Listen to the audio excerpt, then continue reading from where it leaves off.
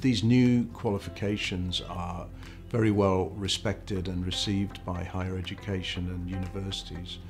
And they're, uh, they're described as applied general qualifications, which means that they have some external assessment built into it.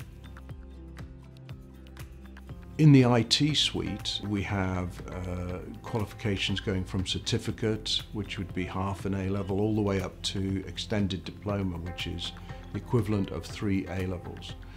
And in those suites, there are a number of uh, mandatory and optional units, but they're all fully nested, so it gives colleges uh, the opportunity to give students larger size quals or smaller size quals to fit.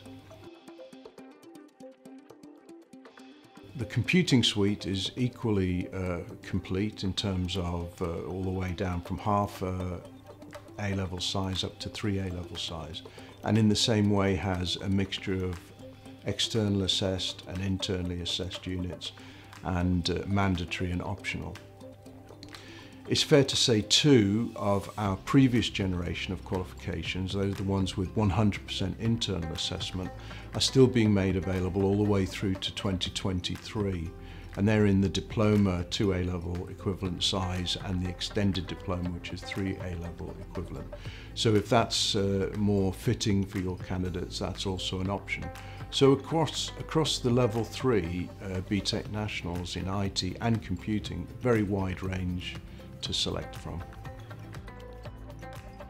In recent times, roughly 100,000 students each year have progressed to higher education having taken a BTEC. Roughly two-thirds of those have been BTEC only students.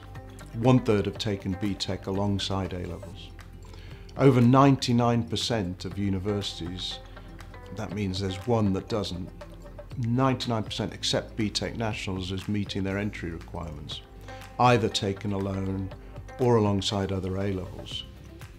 So the new suite of BTEC Nationals Level 3 have been very well recognised and received by uh, universities and they understand the rigour and the challenge that these qualifications have built into them and they know that they're going to get good students who will be successful degree uh, candidates.